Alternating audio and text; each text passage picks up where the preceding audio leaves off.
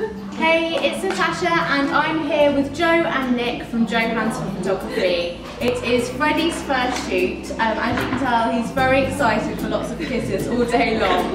Uh, we're really looking forward to getting started and seeing what he's like with the cameras. I'm sure he's going to absolutely love it. Um, so yeah, we're really looking forward to our fun day ahead.